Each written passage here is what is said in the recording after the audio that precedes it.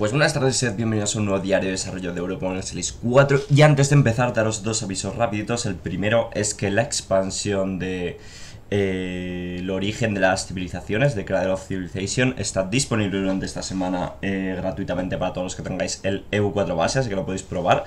Así que aprovechadlo y luego, que es que eh, esta tarde, sobre las 7 y cuarto de la tarde, hora española, tendremos la conclusión final, la última sesión de 3 Day War, que bueno, eh, las cosas como son, vamos ganando, veremos si podemos retener esta primera plaza, veremos si caemos.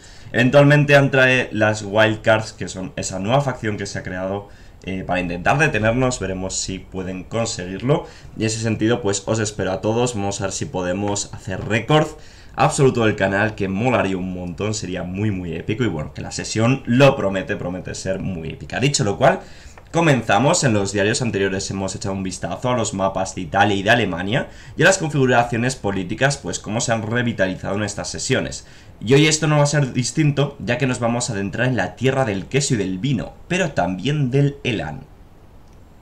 Lo más sorprendente que vamos a notar sobre la nueva configuración del mapa es que vuelve el enjambre de vasallos francés, este Vasal Swarm, que conocíamos antes y que fue bastante eliminado con distintos parches de expansiones. Pero bueno, los ducados de Orleans, Bourbonnais, Auvergne, Armagnac y Foix vuelven al juego con sus gloriosos pero raramente vistos modelos de unidades de la Guerra de los 100 años. Y diréis, bueno, pero ¿cómo va a equilibrar Paradox esto? Eh, ya es que lo estamos oyendo.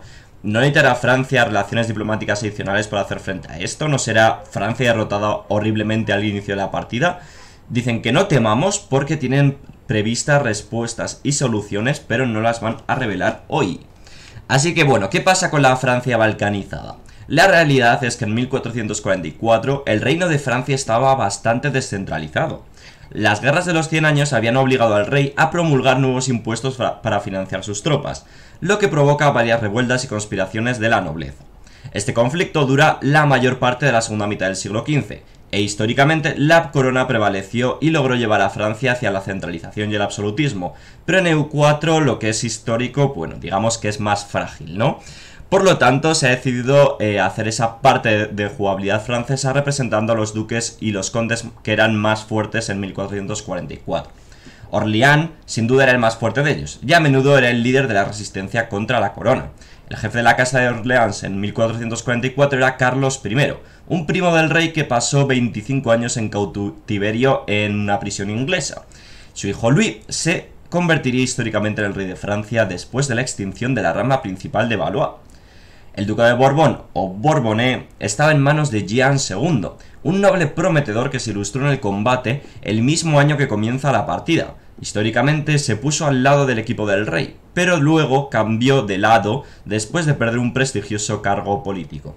Armagnac empieza en una situación muy difícil. Es el resultado de un border gore estilo Crusader Kings 2, de tener eh, provincias desperdigadas por, todo, por toda Francia más bien. Sus posesiones se extienden por el centro y sur de Francia. Su líder, Jean IV, recientemente participó en una revuelta fallida contra el rey y se mantiene con una correa bien apretada. Y finalmente el ducado de Foix está en manos del conde Gastón IV, también teniente general de los ejércitos franceses de Gascuña y Guyena. También notaréis que Francia y sus súbditos, eh, sean del tipo que sean, tienen un puñado de provincias adicionales, o sea que hay nuevas provincias en Francia. Se mencionaban en el diario anterior que se quería incluir eh, Foix, Carcassonne, Toulon y La Marche. Todos han sido eh, añadidos al final, ¿vale? Y Toulon, Toulon siendo especialmente valioso dado a que en el futuro llegó a ser una bastante importante base naval para Francia y como veremos en el próximo diario de desarrollo, el establecimiento de este gran arsenal será una parte importante del nuevo árbol de misiones francés. También encontramos espacio para Forez, que permite representar la división entre la corona y los territorios borbónicos, eh, Blois, que refuerza el ducado de Orleans, el más poderoso de los estados baseos franceses, y a menudo una espina en el lado de los reyes franceses. Para representar mejor la división entre el oeste, como la Borgoña ducal, y el este, el país libre de Borgoña, que está bajo el Sacro Imperio Romano, agregamos la provincia de Salins y su gran mina de sal. Esto nos lleva a dividir a Borgoña en dos, pero en lugar de seguir la división imperial histórica, se ha elegido hacer con dos estados equilibrados en un, con un solo territorio en ambos lados, haciendo de cualquier división una elección imperfecta que seguramente generará conflicto entre el Imperio Romano y Francia en el futuro. Otra adición a la configuración política es la ciudad-estado de Ginebra, aquí representada en 1444 como un vasallo de Saboya. Ginebra fue vasalla de Saboya hasta 1524 y hasta ese momento tiene una relación problemática con su señor. La Casa de Saboya intentó en repetidas ocasiones aumentar su control sobre la ciudad, con poco éxito, excepto para alienar a sus ciudadanos y fomentar el deseo de independencia. Las autoridades locales buscaron aliarse con los cantones suizos, y la ciudad eventualmente se uniría a la Confederación Suiza. Además, la antigua provincia de Saboya se ha dividido entre Annecy y Clamberg. Conforme nos alejamos más de Francia, también hemos hecho algunos cambios en los Países Bajos. Se ha hablado con respecto a, antiguas a nuestras preocupaciones acerca de agregar provincias a la región, ya que se quería que mantener la sensación de que es una región muy poblada y muy desarrollada al agregar nuevas provincias se podía obligar a dividir tanto el desarrollo hasta el punto de perder ese sentimiento. Sin embargo, se ha conseguido exprimir dos nuevas provincias, Bolduque, que ha sido separada de Breda, y Rissel, que es una provincia más para Flandes. También se han añadido o se ha revisado la frontera de Utrecht y Frisia para reflejar las divisiones históricas de las provincias holandesas. Hablando de Frisia, por fin se ha agregado la cultura frisia al juego encontraremos frisones que habitan en las provincias de Frisia, Groningen y Ostfriesland. También hemos redibujado el mapa del área, eliminando el área de Países Bajos y agregando una distinción entre el sur y el norte de Brabante. Y como recordaréis, la semana pasada se prometió echar un vistazo a los Balcanes junto a Francia, pero se ha decidido al final dedicar un diario completo de desarrollo a este tema. Esperad verlo en un par de semanas, ya que el próximo diario de desarrollo cubrirá algunos de los nuevos árboles de misiones en la región francesa y holandesa. Hasta entonces, eh, comentad qué región del mapa os gustaría ver, así como nuevos árboles de misiones que desearíamos ver la próxima semana.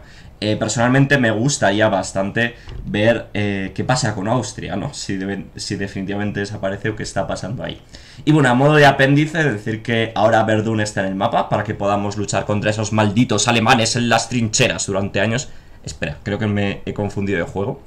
Pero bueno, también eh, se ha tenido la amabilidad de pedir sugerencias respecto a los estados, así que se ha tratado de reflejar la nueva división histórica que es próxima a la que existía en el Ancien Régime, en el antiguo régimen francés, y que eventualmente inspiraría la división que se hizo durante la Revolución Francesa, que bueno, la tendréis por ahí. Así que nada más chicos, espero que os haya resultado de interés este diario de desarrollo, yo tengo cada día más ganas de que llegue esta expansión, que por desgracia, pues ya sabéis que aún le queda bastante, aún le quedan eh, bastantes meses, así que en lo que... Así que nada más chiquillos. Nos vamos viendo en el próximo. Chao, chao.